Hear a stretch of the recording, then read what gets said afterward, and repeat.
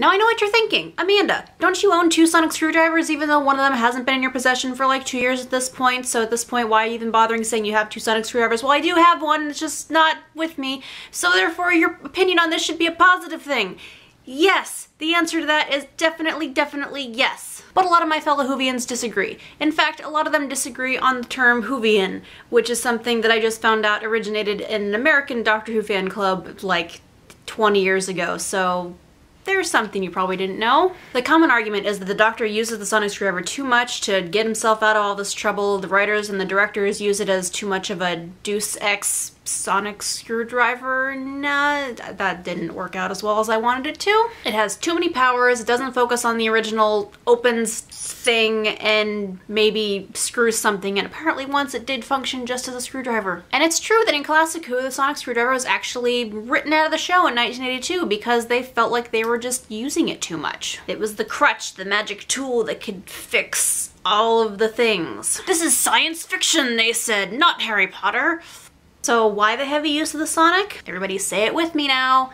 Marketing. Anecdote. In the 1990s, there was a show called Sailor Moon that was basically an expert at doing this. It was creating things in the show specifically to sell them. There was no other point of them existing except to give them to children. Any weapons, any power upgrades, any of that. If you've ever wondered why in the opening, the inner senshi, they focused on the nails when they were doing their transformation with the wands and everything, and then the outer senshi, when they showed up, had this nice lipstick montage, all because of marketing. Only existed because of the toys, because the wands in the for the inner senshi, they came with little nail polish in the tips of them that you could paint your nails in. You could pretend that you were actually doing your senshi makeup thing. And the outer senshi wands were literally called lip rods. And inside the little, the little, the, the rod at the bottom, you could take it out and there was a little tube of lipstick in there. And that still works today.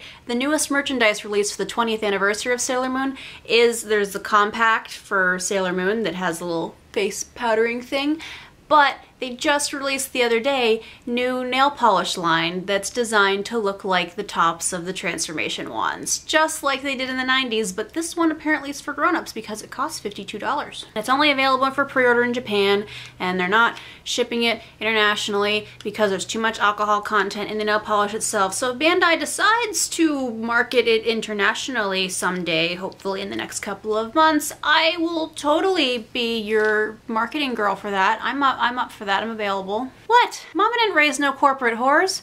Mama raised a corporate call girl. People tend to forget that Doctor Who not only exists to entertain and to educate, but also to make money for the Beebs. Not Justin Bieber, the BBC. Kids see the thing, kids want the thing. Kids want parents to buy the thing. And what better way to fight off the monsters that live under your bed and behind the sofa than with your very own sonic screwdriver. Thanks for watching. I will see you guys next time. Bye!